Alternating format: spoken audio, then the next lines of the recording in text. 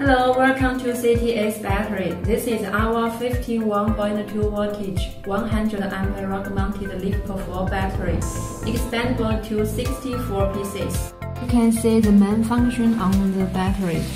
Foldable handles, positive poles, negative poles, a breaker 125 current.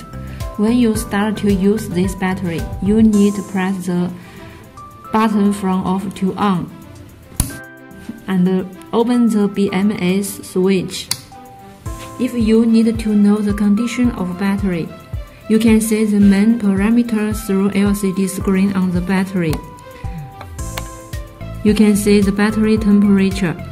For more accurate information, please contact RS485 RS232 communication and adjust by your computer. You can adjust the main parameter on your computer the IP switch. Please feel free to contact us if you have any inquiry.